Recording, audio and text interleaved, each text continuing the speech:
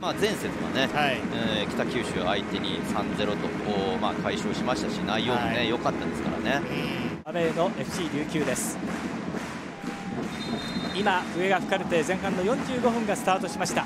まずボールを後ろに戻していってここからまず川本がプレッシングをかけていきます。特に、うん、ゴールキーパーと、うん、ディフェンスラインの間を狙ったアイリクロスとかね、はい、さあ清武落としていってシュート清水ゴールキーパーよく抑えた梅田さあいましょう中に入れてきて真ん中のボール。さあどうだ？キーパーセーブしましたが今最後に触ったのは大勢ちゃんここからもう一つシュートを放っていくがまだ跳ね返っていって一つがこのボールに行こうとしますがここで笛が吹かれます。上上から弘樹弘樹から中に足元のボール。さあシュートポストに当たる。跳ね返って上上に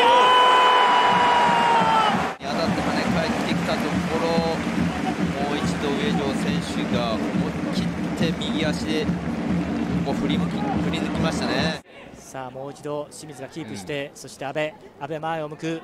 そして自ら自分で運んでいってさあかわしていってフィニッシュまでいけるか。阿部中倒れたがシュートを打っていく。風間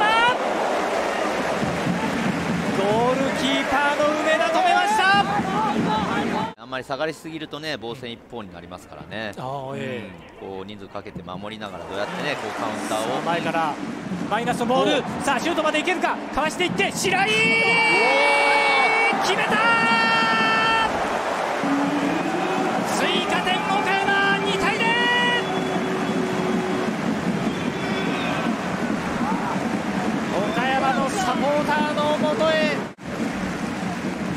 本選手もねよくマイナスのクロス見えてましたし、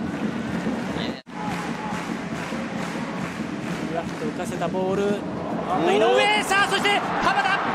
どうだ？まだ？いやこれは捉えることができない。その枠内そのシーンです。井上選手がヘディングして浜田選手がね、はい、足川本がサポートに行く。川本から上条。このボールに対してさあ白井。白井が中。さあどうだ？木村！決めた